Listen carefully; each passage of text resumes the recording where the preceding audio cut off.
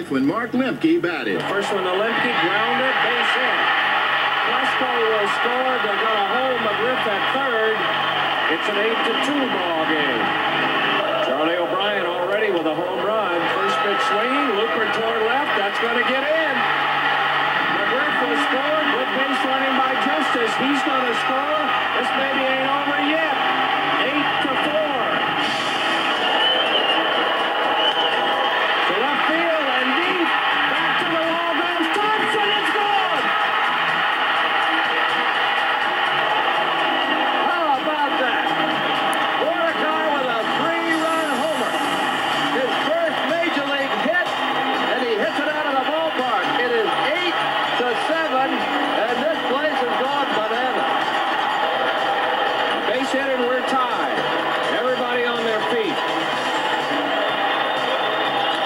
pitch, line down the right field line.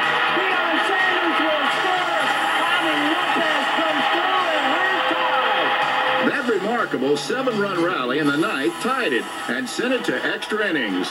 Then in the 15th, with Deion Sanders at third, the Braves finished it. We're in the bottom of the 15th, tied at eight,